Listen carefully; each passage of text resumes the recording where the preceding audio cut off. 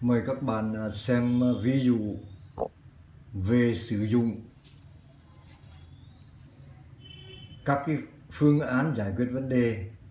để giải cái bài toán hình học không gian lớp 11 sau đây.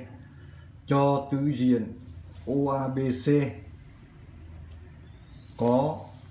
OA bằng OB bằng OC và bằng A góc AOB bằng góc AOC bằng 60 độ góc BOC bằng 90 độ. Bài toán bắt chứng minh mặt phẳng OBC vuông góc với mặt phẳng là à, ABC à, như vậy trong bài toán này chúng ta sử dụng cái phân tích đi lên ở trong cái à, trong cái xu hướng dạy học giải quyết vấn đề vấn đề đặt ra, bài toán yêu cầu chứng minh mặt phẳng OBC vuông góc với mặt phẳng ABC thế thì ở đây, cái phương án phân tích đi lên, tức là chúng ta tìm cái đặt vấn đề để chứng minh hai mặt phẳng OBC vuông góc, mặt phẳng ABC thì chúng ta cần phải chứng minh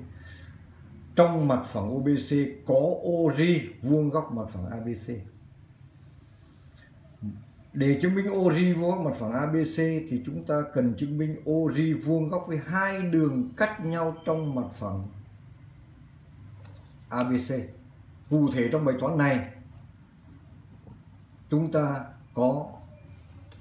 ORI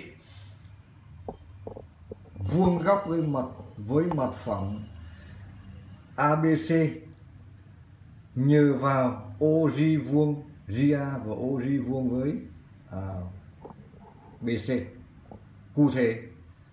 xét giả thiết là cho ta thấy tam giác OAB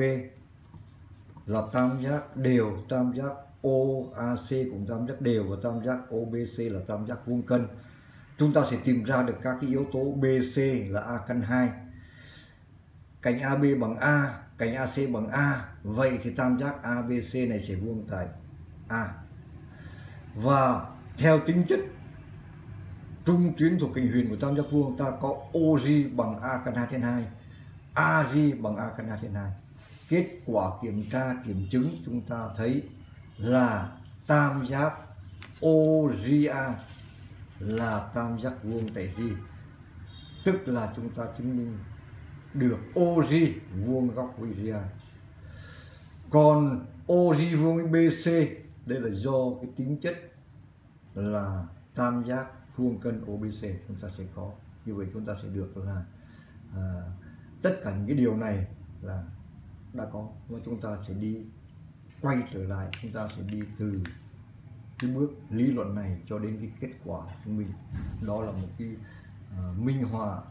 Ờ, một cách đơn giản để các bạn hình dung được phương pháp phân tích đi lên trong cái xu hướng giải quyết vấn đề.